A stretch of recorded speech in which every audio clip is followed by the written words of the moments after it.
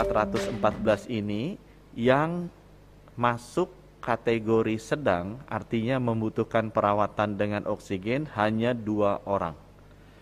Ya, satu usia 58 tahun, yang satu lagi usia 47 tahun dan keduanya memiliki komorbid.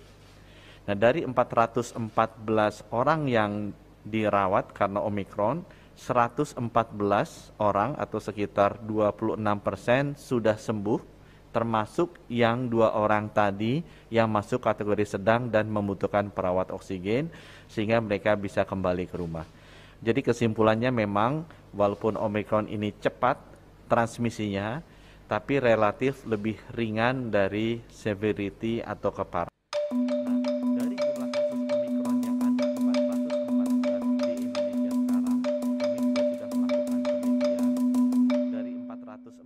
ini